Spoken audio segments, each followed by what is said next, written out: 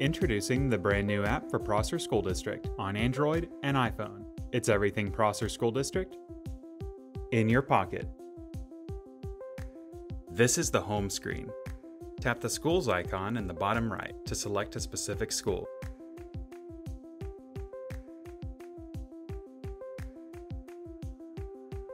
Tap the three horizontal lines in the bottom left to see all the menu items.